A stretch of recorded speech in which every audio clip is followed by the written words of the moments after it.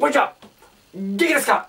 ということで、えー、ホップです。えー、今日はですね、今日3月22日は、えー、ホップの誕生日でして、今日で、えー、20歳、20周年になります。えー、皆様にご愛顧いただきまして、なんとか20年やってくることができました。ありがとうございました。で、今日はあのー、えっ、ー、と、知り合いのサミートスの今田さんから、えっ、ー、と、ケーキをいただきまして、え、アップしてください。